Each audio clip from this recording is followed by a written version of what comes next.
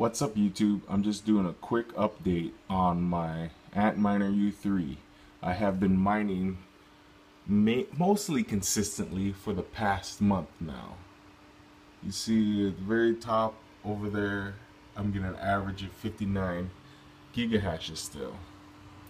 My Antminer on the other hand is beginning to get kind of dusty so I may have to clean that out soon. And this is my Raspberry Pi still working good as always. Well, a few times it crashed on the CG Miner for some reason. Kind of unusual, but um, let's take a look at what I'm getting on Slush's Pool. That's kind of what I'm getting currently on Slush's Pool. I haven't been able to get the whole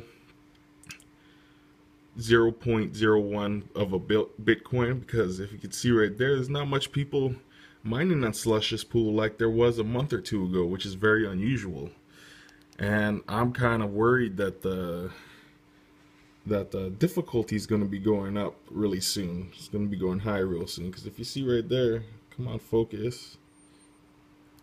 It's going to jump up substantially.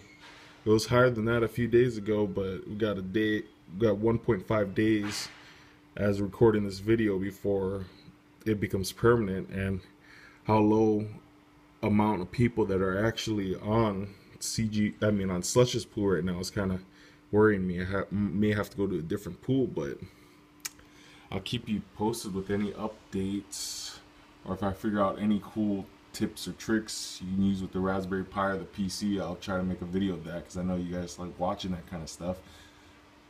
So you guys can better your own mining machines.